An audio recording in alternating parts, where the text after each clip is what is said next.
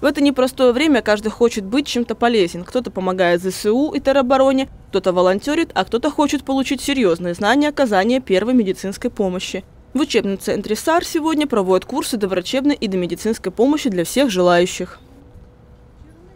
Это цикл бесплатных занятий, которые мы проводим 2-3 раза в каждый месяц, в рамках которого каждый одессит каждый участник сможет узнать о том, как останавливать жизнеугрожающие кровотечения, каким образом можно распознать травму или повреждение, что делать для того, чтобы сохранить жизнь пострадавшему от артиллерийского или авиационного обстрела. Каждое занятие длится около трех часов. Инструктор демонстрирует различные техники и правила оказания первой помощи в случае сильного кровотечения. Также на курсе рассказывают и о правилах личной безопасности. Три зоны на поле боя. Первая – это горячая зона или зона под огнем. Вторая – это теплая зона, она же желтая зона, она же зона тактической паузы. Мы поговорим о тех зонах, в которых можно оказывать помощь и какую помощь оказывать. Простая идея заключается в том, что в том месте, где происходит стрельба, там помощь оказывать нельзя, чтобы не подставить свою жизнь под фактор опасности и под риск.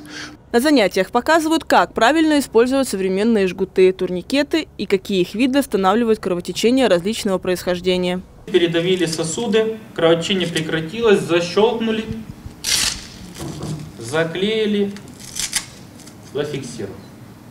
Это жгут вороткового типа, то бишь это тот, который зачастую используют военнослужащие. Почему? Потому что он устанавливается быстро самому себе. Теоретические выкладки специалисты подкрепляют практическими занятиями. Наш корреспондент поучаствовал в тренинге и применил полученные знания на себе.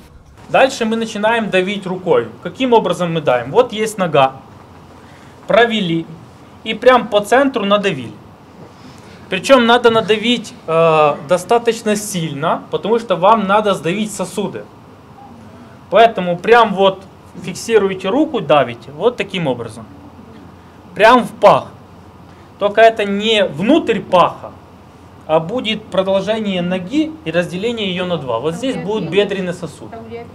Одесситы говорят, что такие занятия просто необходимы в военное время, но не помешает и в мирное. А ведь умение помочь человеку, а может и спасти ему жизнь, дорого стоит.